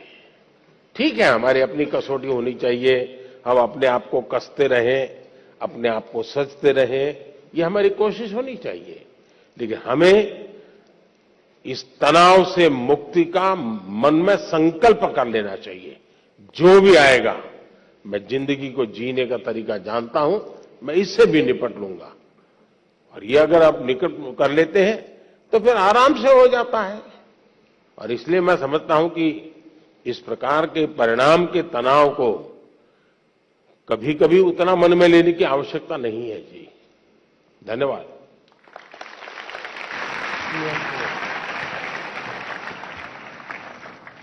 माननीय प्रधानमंत्री जी, आपका अनुभव सुनकर हमें नई चेतना आई है। आपका धन्यवाद। Honourable prime minister sir R Akshara Siri lives in the Rangareddy district in Telangana. She is in quest of a significant subject and looks up to you for directions. Akshara, please put forth your question. माननीय प्रधानमंत्री जी सादर नमस्कार मेरा नाम है are Akshara सिरी मैं जवाहर नवोदय विद्यालय रंगारेड्डी हैदराबाद की नवी कक्षा की छात्रा हूँ मान्यवर मेरा प्रश्न है हमें अधिक भाषाएँ सीखने के लिए क्या करना चाहिए? मैं इसमें आपकी मार्गदर्शन चाहती हूँ। धन्यवाद श्रीमान।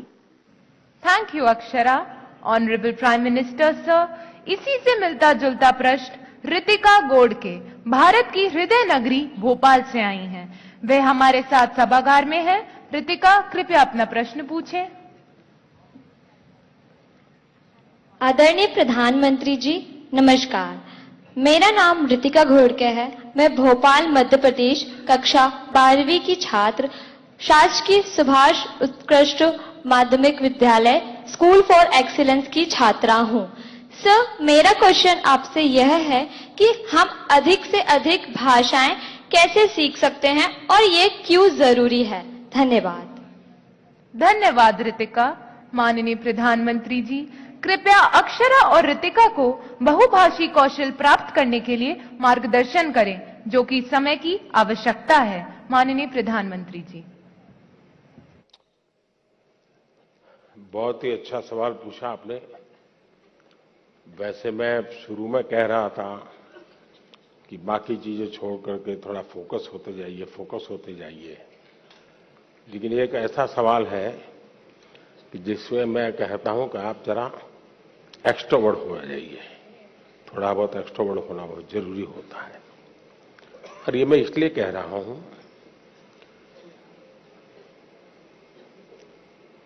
भारत विविधताओं से भरा हुआ देश है।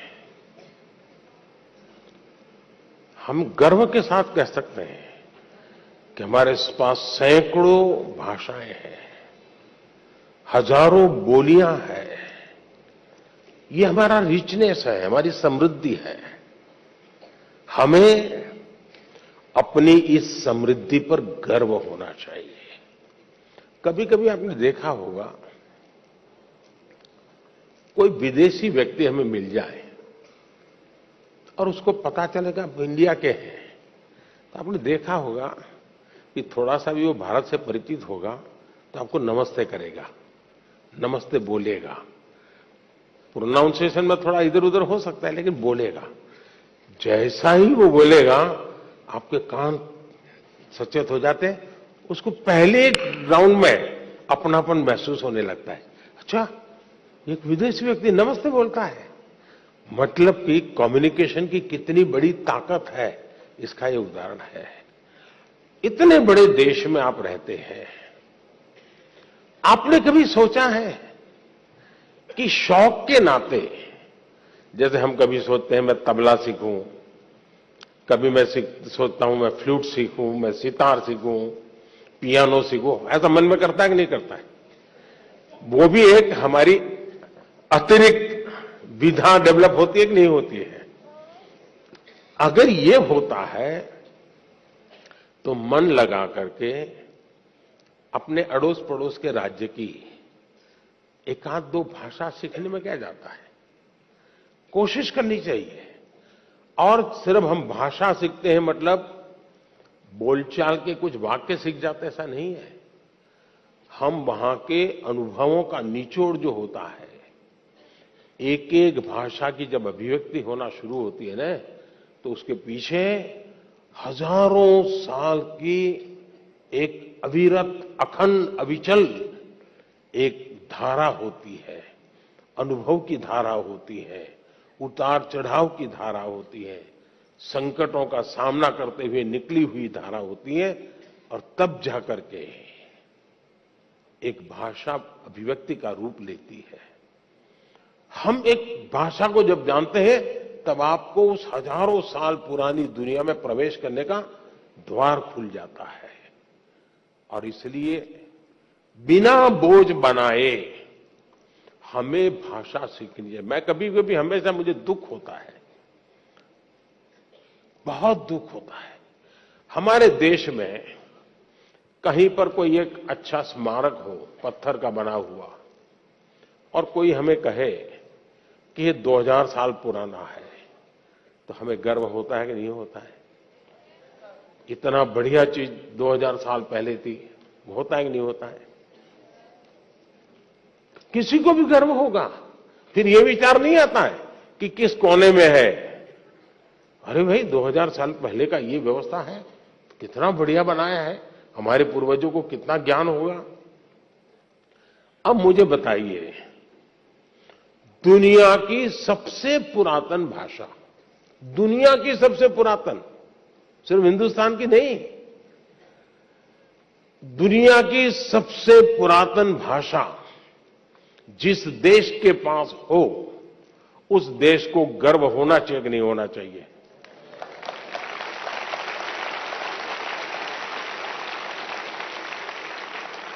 सीना तान करके दुनिया को कहना चाहिए कि नहीं कहना चाहिए, कि विश्व की सबसे पुरातन भाषा हमारे पास है, कहना चाहिए कि नहीं कहना चाहिए। आपको मालूम है, हमारी तमिल भाषा ये दुनिया की सबसे पुरानी भाषा है। पूरी दुनिया की।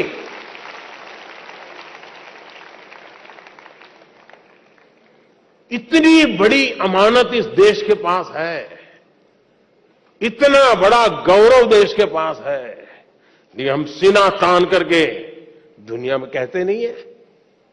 मैं पिछली बार जब यूनो में मेरा भाषण था तो मैंने जानबूझकर कुछ तमिल बातें बताई। क्योंकि मैं दुनिया को बताना चाहता था। मुझे गर्व है कि तमिल भाषा दुनिया की श्रेष्ठ भाषा, दुनिया की सबसे पुरानी भाषा ये मेरे देश की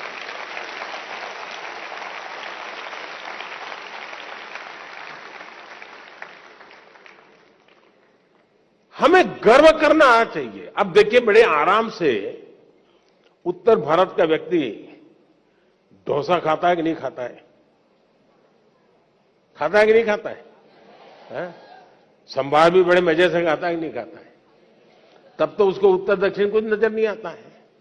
दक्षिण में जाइए आप तो वहाँ परोठा सब्ज़ी भी मिल जाती है पूरी सब्ज़ी भी मिल जाती है और बड़े चाव से लोग खाते हैं गर्व करते हैं कि नहीं करते हैं। कोई कोई तनाव नहीं होता है कोई रुकावट नहीं होती है। जितनी सहजता से बाकी ज़िंदगी आती है उतनी ही सहजता से, और मैं तो चाहूँगा हर किसी ने कोशिश करनी चाहिए कि अपनी मातृभाषा के उपरांत भारत की कोई न कोई भाषा कुछ तो सेंटेंसेस आने चाहिए। आप देखिए कि आपको आनंद आएगा जब ऐसे व्यक्ति को मिलोगे, और दो वाक्य भी अगर आप उसकी भाषा में बोलोगे, एकदम अपनापन हो जाएगा। और इसलिए भाषा को बोझ के रूप में नहीं। अब मुझे याद है, मैं जब बहुत साल पहले की बात थी सामाजिक काम में लगा था तो मैंने एक बच्ची को, और मैंने देखा है कि बच्चों में भाषा को कैच करने की बड़ी गजब की ताकत होती है। हड़प कर देते बहुत तेज़ी से। तो मैं कभी हमारे यहाँ कैली को मिल के एक मजदूर परिवार था, अहमदाबाद में। तो मैं कभी उनके यहाँ भोजन के लिए जाता था। तो वहाँ एक बच्ची थी, वो कई भाषाएँ बोलती थी। क्यों? क्योंकि एक तो वो मजदूरों की कॉलोनी थी तो कॉस्मोपोलिटन थी, उसकी माताजी केरल से थी, पिताजी बंगाल से थे। पूरा कॉस्मोपोलिटन होने के कारण हिंदी चलती थी। बगल में ये परिवार मराठी था और स्कूल जो होती थी वो गुजराती होती थी। मैं हैरान था वो सात आठ साल की बच्ची। बंगाली, मराठी, मलयालम, हिंदी, इतनी तेज गति से बढ़िया बोलती थी और घर में अगर पाँच लोग बैठे हैं, इससे बात करनी है तो बंगाली में करेगी, इससे करेगी तो मलयालम में करेगी, इससे करेगी तो गुजराती में करेगी। आठ दस साल की बच्ची थी। यानी उसकी उसकी प्रतिभा खिल रही थी। और इसलिए मेरा तो आपसे आग्रह रहेगा कि हमें अपना, अपनी विरासत पे, और मैंने तो इस बार लाल किले से भी कहा था, पंच प्राण की बात, अपनी विरासत पे हमें गर्व होना चाहिए। और हमें गर्व होना चाहिए कि हमारे पूर्वजों ने ऐसी भाषा हमें दी है। ये हर हिंदुस्तानी को गर्व होना चाहिए, हर भाषा पे गर्व होना चाहिए। बहुत बहुत धन्यवाद। माननीय प्रधानमंत्री जी बहुभाषिकता पर आपके मार्गदर्शन के लिए धन्यवाद। Honourable prime minister sir from the historically acclaimed city of Cuttack Sunanya Tripathi who is a teacher request your direction on an important matter ma'am please ask your question नमस्कार नमस्कार माननीय प्रधानमंत्री श्री नरेंद्र मोदी जी मैं सुनैना त्रिपाठी कृष्णमूर्ति वॉल स्कूल कटक ओडिशा से हूँ। मेरा प्रश्न यह है कि कक्षा में विद्यार्थियों को रुचिपूर्ण पढ़ाई के लिए कैसे आकर्षित करें तथा जीवन का सार्थक मूल्य कैसे सिखाएँ? साथ ही कक्षा में अनुशासन के साथ पढ़ाई को रोचक कैसे बनाएँ? धन्यवाद। Honorable Prime Minister, sir, Sunanya Tripathi wishes your guidance on motivating students for taking interest in academics. Honorable Prime Minister, sir. ये सवाल टीचर का था हाँ सही था ना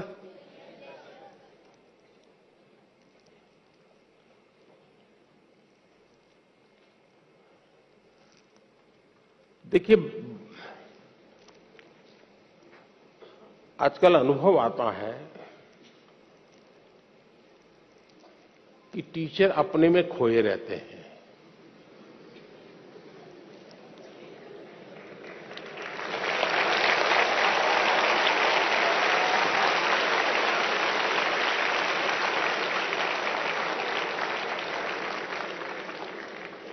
अभी तो मेरे आधा वाक्य बोला, आपने पकड़ लिया।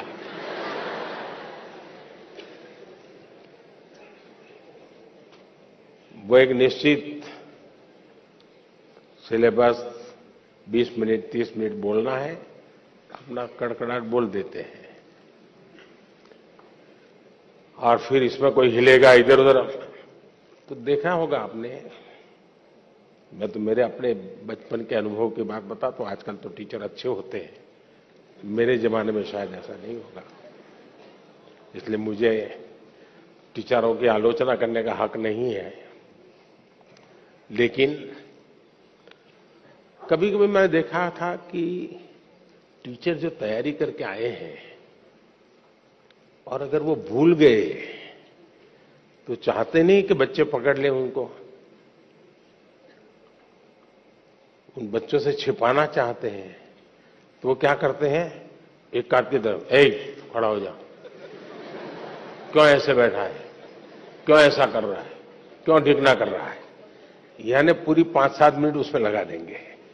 इतने में अगर विषय याद आ गया तो गाड़ी वापिस आएगी। वरना फिर मानो कोई हंस पड़ा, उसको पकड़ेंगे। क्यों हंसता है तू?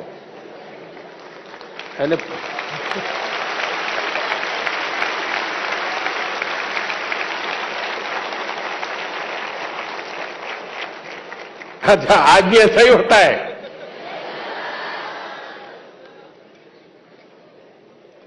नहीं नहीं, ऐसा नहीं होता। अब तो टीचर बहुत अच्छे होते हैं।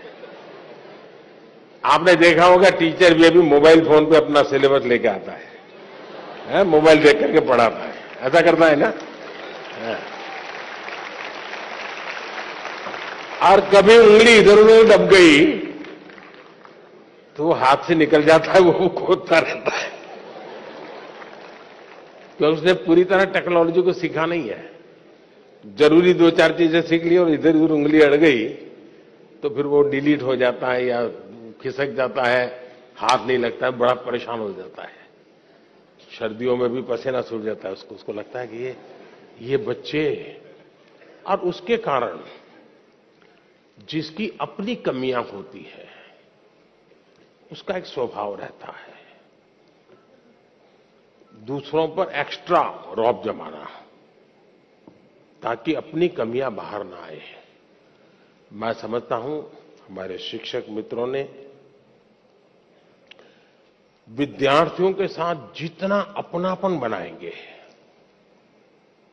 विद्यार्थी आपके ज्ञान की कसौटी करना नहीं चाहता ये हमारा भ्रम है। टीचर के मन में होता है कि विद्यार्थी आपको अगर कोई सवाल पूछता है तो आपकी एग्ज़ाम ले रहा है। जी नहीं। अगर विद्यार्थी सवाल पूछता है तो ये मान के चलिए उसके अंदर जिज्ञासा है। आप उसकी जिज्ञासा को हमेशा प्रमोट कीजिए। उसकी जिज्ञासा ही उसकी जि... उसकी जिज्ञासा ही उसकी ज़िंदगी की बहुत बड़ी अमानत है। किसी भी जिज्ञासु को चुप मत कीजिए। उसको टोक मत दीजिए। उसको सुनिए, आराम से सुनिए। अगर जवाब नहीं आता है तो आप उसको कहिए देख बेटे, तूने बहुत अच्छी बात कही है। और मैं तुम्हें जल्दबाजी में जवाब दूँगा तो अन्याय होगा। ऐसा करो, हम कल बैठते हैं। तुम मेरी चैम्बर में आ जाना। हम बातें करेंगे। और मैं भी तुमको समझने की प्रयास करूँगा, ये विचार तुम्हें कहाँ से आया? और मैं भी कोशिश करूँगा, इन बिटवीन मैं घर जाकर के स्टडी करूँगा। जरा गूगल पे जाऊँगा, इधर उधर जाऊँगा, पूछ लूँगा। और फिर मैं तैयार होकर के आऊँगा, फिर दूसरे दिन मैं उसको पूछूँगा। अच्छा भाई, तुम्हें ये विचार आया कहाँ से? इतना उत्तम विचार इस उम्र में, कैसे आया तुम्हें? उसको पुचकारते हुए फिर कहिए, देख सचमुच में ऐसा नहीं है, रियलिटी ये है। वो तुरंत स्वीकार कर लेगा। और आज भी स्टूडेंट्स अपने टीचर की कही हुई बात को बहुत मूल्यवान समझता है। अगर एकाध एकाध गलत बात बता दी एकाध गलत बात बता दी तो उसकी ज़िंदगी में वो रजिस्टर हो जाती है। और इसलिए बात बताने से पहले समय लेना बुरा नहीं है। हमने बाद में भी बताए तो चलता है। दूसरा डिसिप्लिन का सवाल है। क्लास में कभी कभी टीचर को क्या लगता है? अपना रुआब प्रभाव पैदा करने के लिए जो सबसे दुर्बल स्टूडेंट होता है ना उसको पूछेंगे बताओ तुम समझे कि नहीं समझे? तो अब करता रहेगा। हाँ? तू तुम में, मैं चलेगा तो फिर वो डांट देंगे। कि मैं इतनी मेहनत कर रहा हूँ, इतना पढ़ा रहा हूँ, तुमको कुछ समझ नहीं आ रही है। अगर मैं टीचर होता तो मैं कर, करता। जो बहुत ही अच्छे, ब्राइट स्टूडेंट हैं, उनको कहता अच्छा बताओ भाई, तुम कैसे समझे इसको? वो बढ़िया से समझाएगा। तो जो नहीं समझ रहा है, वो स्टूडेंट की भाषा अच्छी तरह समझेगा तो उसको समझ आ जाएगा। और जो अच्छे स्टूडेंट हैं, उनको मैं प्रतिष्ठा दे रहा हूँ तो अच्छे बनने की कंपटीशन शुरू होगी स्वाभाविक रीते कंपटीशन शुरू होगी। दूसरा, जो इस प्रकार से अनुशासन में नहीं है, ध्यान केंद्रित नहीं करता है क्लास में भी कुछ ना कुछ और एक्टिविटी करता है टीचर अगर उसको अलग बुला ले अलग बुला करके बात करे प्यार से बात करे देख यार कल कितना बढ़िया विषय था अब तुम खेल रहे थे अब चलो आज खेलो मेरे सामने खेलो। तुम्हें भी मज़ा आएगा मैं भी देखूँ क्या खेलते थे। अच्छा बताओ तुम खे, आ, ये खेलने का काम बाद में करते हैं और तुमने ध्यान दिया हो तो फ़ायदा होता कि नहीं होता। उससे अगर संवाद करते तो उसको एक अपनापन महसूस होता, वो कभी इनडिसिप्लिन नहीं करता जी। लेकिन उसके ईगो को अपने अगर हर्ट किया तो फिर दिमाग फट गएगा कुछ लोग चतुराई भी करते हैं, चतुराई भी कभी कभी काम आती है। जो सबसे शरारती लड़का होता है, उसी को मॉनिटर बना देते हैं। बनाते हैं ना? वो मॉनिटर बन जाता है। तो फिर उसको भी लगता है, यार, मुझे तो थोड़ा ठीक से व्यवहार करना पड़ेगा। तो वो फिर खुद को अपने आप को जरा ठीक करता है और सबको ठीक रखने के लिए अपने आप को एडजस्ट करता है। अपनी बुराइयों को कंट्रोल करने की कोशिश करता है। शिक्षक को प्रिय होने का प्रयास करता है और अल्टीमेटली परिणाम ये आता है, उसकी ज़िंदगी बदल जाती है और उसके माध्यम से क्लासरूम का एनवायरनमेंट भी सुधर जाता है। तो अनेक तरीके हो सकते हैं, लेकिन मैं मानता हूँ कि हमें डंडा लेकर के डिसिप्लिन वाले रास्ते नहीं चुनने चाहिए। हमें अपनापन का ही रास्ता चुनना चाहिए। अपना रास्ता चुनेंगे तभी लाभ होगा। बहुत बहुत धन्यवाद। माननीय प्रधानमंत्री जी, इतनी सरलता एवं गहराई से जीवन मूल्यों की प्रेरणा पर आपका कोटि कोटि धन्यवाद। माननीय प्रधानमंत्री जी परीक्षा पर चर्चा 2023 के अंतिम प्रश्न के लिए मैं आमंत्रित कर रही हूँ दिल्ली से श्रीमती सुमन मिश्रा, जो कि एक अभिभावक है। वे सभागार में उपस्थित है और आपसे अपनी जिज्ञासा का समाधान चाहती हैं। मैम, कृपया अपना प्रश्न पूछिए। Good morning honourable prime minister myself Suman Mishra sir I seek your advice on how should student behave in a society. Thank you, sir. धन्यवाद, मैम। माननीय प्रधानमंत्री जी। स्टूडेंट सोसाइटी में कैसे बिहेव करे, यही पूछना है ना आपको? मैं समझता हूँ कि इसको थोड़ा अलग दायरे में रखना चाहिए। हम किस सोसाइटी की बात करते हैं? जो हमारा सर्कल है वो जिनके बीच हम बैठते उठते हैं, कभी अच्छी बुरी बातों में टाइम बिताते हैं टेलीफोन पर घंटे बिता देते हैं। अगर उस लिमिटेड वर्तुल की बात करते हैं तो तो आप बच्चे को जैसा कहोगे वैसा, भाई यहाँ जूते पहन करके आओ, यहाँ जूते निकालो, यहाँ इस ढंग से व्यवहार करो, यहाँ उस ढंग से करो, ऐसा आप कह सकते हैं। लेकिन हकीकत यह है कि उसको एक घर के दायरे में बंद नहीं रखना है उसको। उसको समाज में जितना व्यापक उसका विस्तार हो, होने देना चाहिए। मैंने तो कभी कहा था शायद, परीक्षा पे चर्चा पे ही कहा कहीं और कहा मुझे याद नहीं है। मैंने कहा था कि दसवीं, बारहवीं की एग्ज़ाम के बाद कभी बच्चे को पहले अपने स्टेट में उसको कहोगे लो, ये पैसे तुम्हें इतना देते हूँ और पाँच दिन के लिए तुम इतनी जगह पे घूम करके वापस आओ। और वहाँ के फ़ोटो, वहाँ का वर्णन सब लिख करके ले आओ। फेंको उसको। हिम्मत के साथ। आप देखिए बच्चा बहुत कुछ सीख करके आएगा। जीवन को जान करके, उसमें विश्वास बढ़ेगा। फिर वो आपको ये नहीं चिल्लाएगा। और बारहवीं का है तो उसको कहो तुम राज्य के बाहर जाकर के हो आओ देखिए ये इतने पैसे हैं, ट्रेन में जाना है विदाउट रिजर्वेशन जाना है, सामान इतना होगा, ये तुझे खाना दे दिया है, जाओ, इतनी चीज़ें देख करके आओ, और आकर के सबको समझाओ। आपने सचमुच में अपने बच्चों का ट्रायल लेते रहना चाहिए। उनको समाज के भिन्न भिन्न वर्गों में जाने के लिए प्रेरित करना चाहिए। उसको कभी पूछना चाहिए कि भाई तुम्हारी स्कूल में इस बच्चे ने इस बार कबड्डी में अच्छा खेला था, तुम उसको मिले क्या? जाओ उसके घर जाके मिल के आ जाओ। फलाने बच्चे ने विज्ञान मेले में अच्छा काम किया था, तुम जाकर के मिल के आए क्या? अरे जाओ, जरा मिल करके आओ। उसको उसकी उसका विस्तार करने का उसको आपको अवसर देना चाहिए। उसको आप ऐसा करना चाहिए, वैसा करना चाहिए, ये करना चाहिए, वो नहीं करना चाहिए। कृपा करके उसको बंधनों में मत बांधिए। आप मुझे बताइए, कोई ये फरमान निकाले कि अब पतंगों को, पतंगे बोलते हैं ना? है? पतंगों को यूनिफॉर्म पहनाएँगे तो क्या होगा? क्या होगा? कोई लॉजिक है क्या? हमें बच्चों का विस्तार होने देना चाहिए। उनको नए नए दायरे में ले जाना चाहिए, मिलवाना चाहिए। कभी हमें भी ले जाना चाहिए उसको।